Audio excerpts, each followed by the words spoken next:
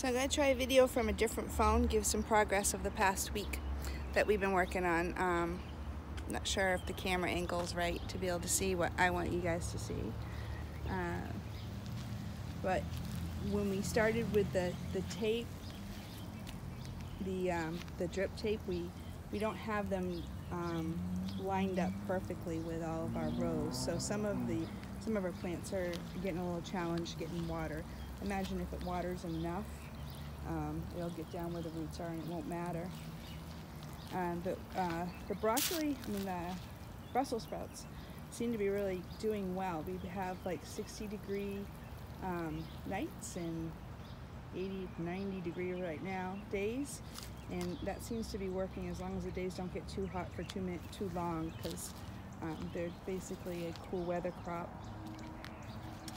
Um, a lot of the weeds that I took care of last week are already starting to poke through, but they're not nearly as bad as they were before. Before I get to them again, I'm sure they will be. Uh, picking off lady beetles, which destroy, the one landed, um, which destroy our uh, squash crops has become a, a nightly thing. Um, usually around this time of night, 5, 6 o'clock at night is when they like to land. Um, they seem to be pretty busy chewing on chewing on the leaves, but I haven't really found any eggs or anything in the back, so that's good. I have decided that I need to, my marigolds have been doing fabulous, um, and they're like, in this particular row, really overshadowing the um, pepper plants, bell peppers. So I think I'm gonna do is I'm gonna pull some of these marigolds out and stick them down in the lower garden where we don't have a whole lot. We got tomatoes, potatoes, and some squash down there. Um, but not to waste them, but to put them put them down there just so I can thin this out and they're not fighting the nutrients for the, these um, poor pepper plants. And I'm, I'm worried that they're gonna the stunt the growth of the pepper plants. I only had like three pepper plants last year, which I mean, we got a few peppers off of them, and the, I have several more this year, and they seem to be thriving. Um, cutting the the onions back. I had a question on this yesterday. Cutting the onion greens back. Um, when you cut the greens back, it focuses the energy and it gets focused into hopefully creating bigger bulbs down here. And I don't waste the greens. They taste like onions. they're perfectly healthy to eat.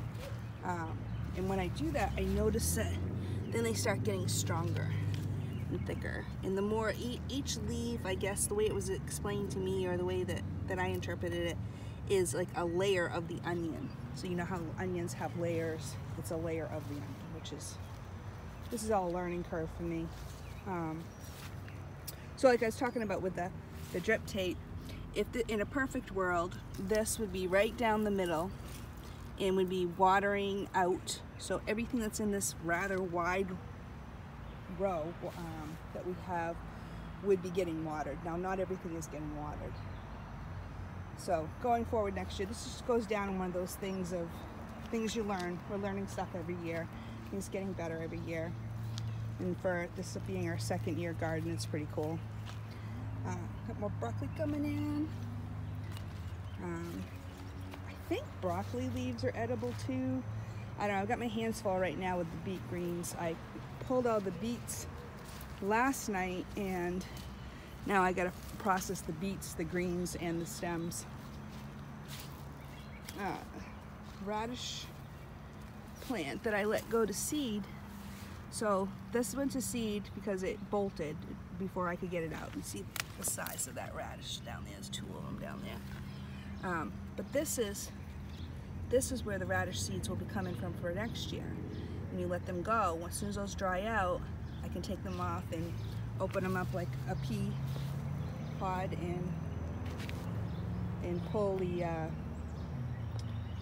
sorry pull the the seeds out and we'll save them for next year which saves so I already, this is where all the carrots were, and I left a couple, a few here, so I can also seed save from them, like the ones on the end. And I'm trying to, trying to, if I, if they don't bolt too soon, if I can have a plan, it would always to have the ones that bolt and start to go to seed to be on the ends.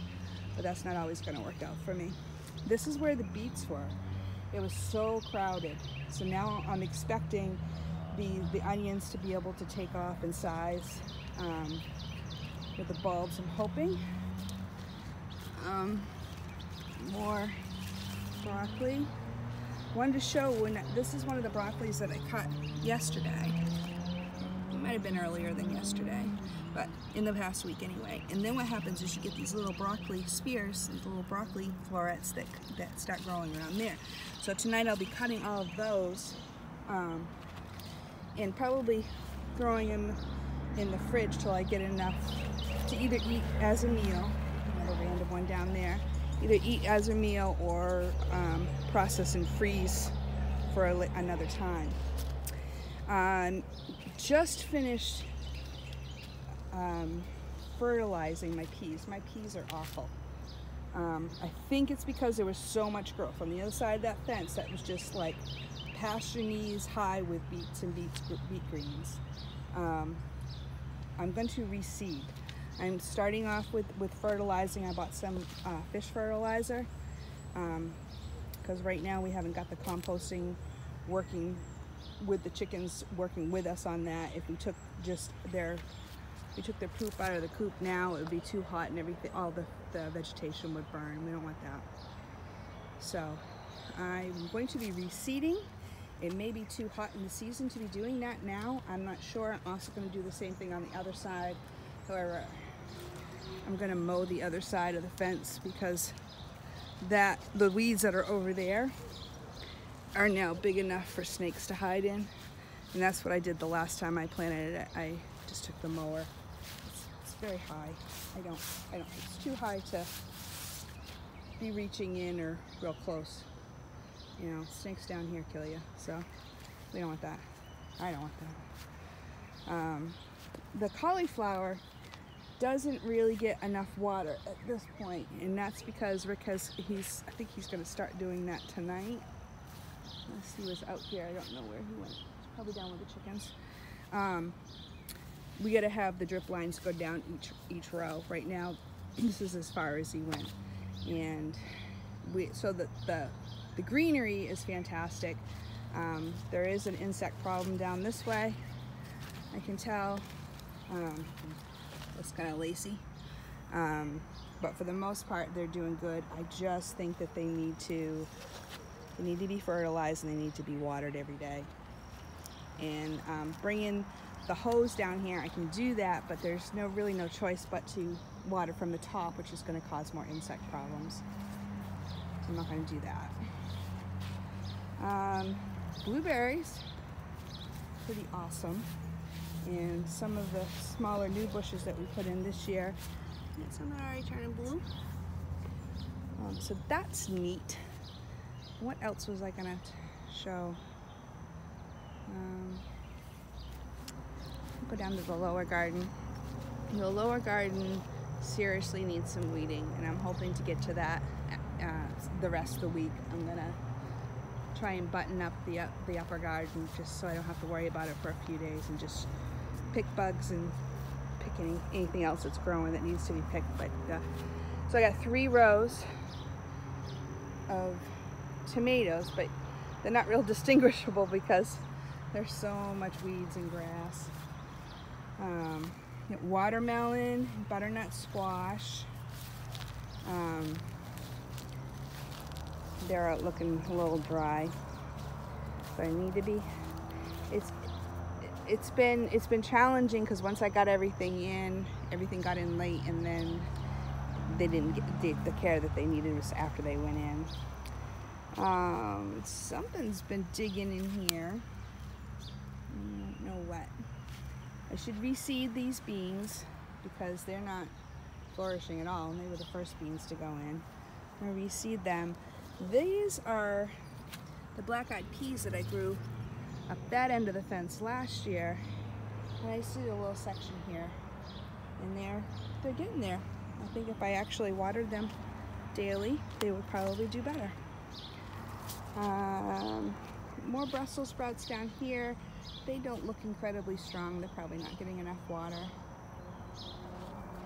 And this is a row of potatoes that Rick put in that is now totally covered in weeds. Um, and the plan is to put another row of potatoes in. We were having problems with a rototiller, but that should be all set now. Bought a new motor for it. So I should be able to do that. And then he might throw some ears of corn in here. I'm not gonna do corn on the scale that we did last year, but it'd be nice to have a few meals out of it. Get complaints from my kids about it. And this is a new grapevine that we put in this year. And eventually, this will all be more distinguishable, we hope, once we get it all weeded. Um, so uh, my next endeavor is to start a worm farm. I want to start a worm farm where the worms will provide worm castings and fertilizer for the garden. And I also want to do mealworms because that will help us with the chickens. Whereas um, chickens need protein. We can we can feed them vegetation all day long, but they need protein if we want them, if we want to either fatten them or get them get some meat on their bones so that we can eat them, or if we want them to lay properly, they need a certain amount of protein. Like the the feed we've been giving them is like 16% protein. Mealworms have like 56% protein, and mealworms are really easy to grow. From what I've been reading, find out if that be the case. Uh, Rick said one of our roosters, I think it's that one right there, uh, which he has named Rocky because it's a barred rock rooster, was crowing this morning. So that would be our first crow. I think I have food. I don't yet. I will when I get some eating done. Uh, have a good night.